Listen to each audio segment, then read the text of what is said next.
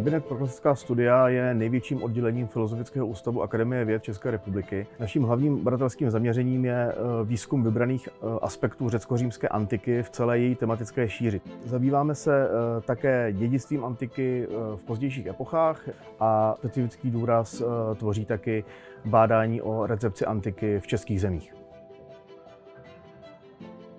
Badatelská ambice kabinetu je v zásadě dvojí. Na té první úrovni my se snažíme aktivně zasáhnout a, ovlivnit eh, mezinárodní bádání o antice. A eh, ta druhá ambice eh, je zaměřená na potřeby české kultury. Snažíme se ji obohatit a snad ji trochu kultivovat. Mám samozřejmě radost z toho, což s tím souvisí, že se nám snad ve stále větší míře daří publikovat v prestižních nakladatelstvích zahraničních časopisech. Pokud bych měl uh, zmínit nějaké konkrétní projekty, tak bych asi vybral dva. Ten jeden projekt je projekt týmový a je to vydávání slovníku středověké latiny v českých zemích. Jehož cílem je eh, zmapovat veškerou slovní zásobu, která se vyskytuje na českém území od počátku latinské literatury až do roku 1500.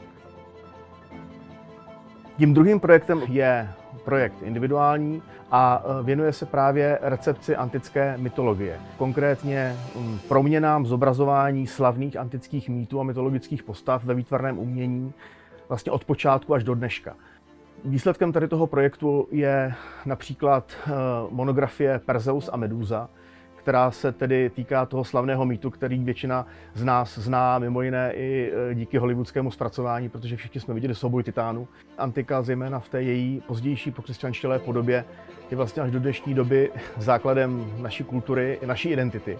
A e, já mám obecně pocit, že e, je to teprve kultura, která vlastně nás činí tím, čím skutečně jsme a díky kultuře má náš život aspoň pro mě nějaký smysl.